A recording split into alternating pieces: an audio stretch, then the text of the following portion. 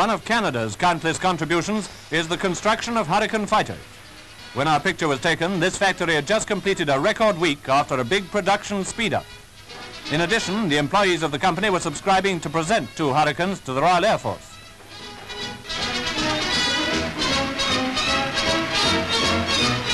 They build the whole machine, including the engine, and all the world knows how successful the Hurricane has been against German and Italian types.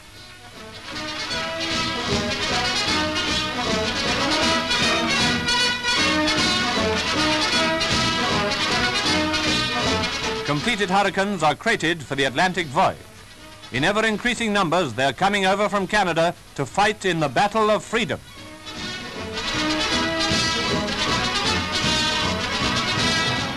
Also bound for Britain is this 20-ton American-built bomber.